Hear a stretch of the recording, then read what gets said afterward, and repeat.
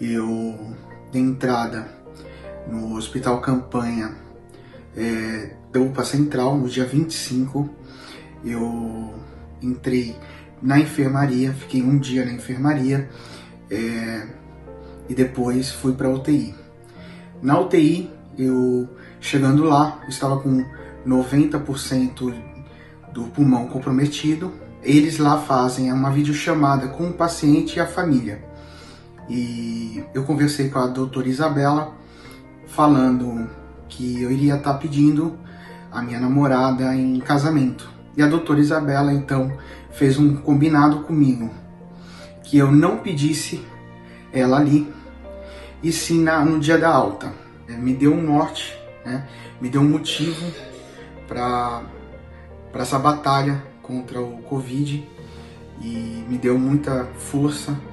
É, eu não precisei ser entubado, eu consegui responder muito bem às, às medicações, aos estímulos e passei 18 dias na UTI, consegui sair direto da UTI para casa. No dia da minha alta, é, foi uma surpresa gigantesca.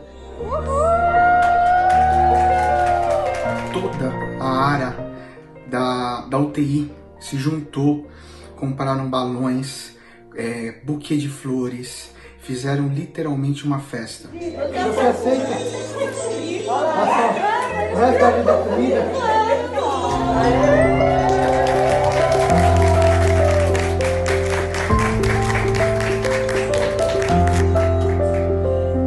Eu queria agradecer toda a equipe, desde os médicos, enfermeiros, é, técnicos, é, todo mundo, a parte administrativa, por ter feito aquela festa, aquela homenagem, né?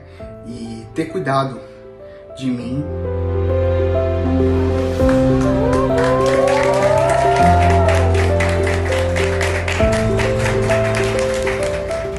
Agradecer muito o pessoal da UPA Central, todos os profissionais que ajudaram, que cuidaram do Vitor e que fizeram essa surpresa maravilhosa não só para mim, como também para a família do Vitor, né? Porque foi um presente pra gente. Muito obrigada, gente.